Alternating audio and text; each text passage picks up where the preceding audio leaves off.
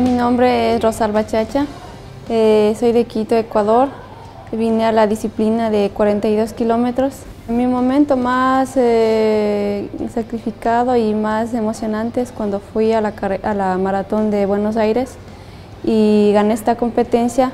Fue un campeonato iberoamericano y ah, puse la marca. Por lo general eh, hacemos de tres horas diarias los entrenamientos que yo los hago y entreno todos los días, de lunes a domingo. Hablo con muchos niños, con los atletas que realmente están saliendo, son atletas jóvenes. Me, he, dialogado también con ellos y bueno, me están viendo en Herbalife que estoy consumiendo.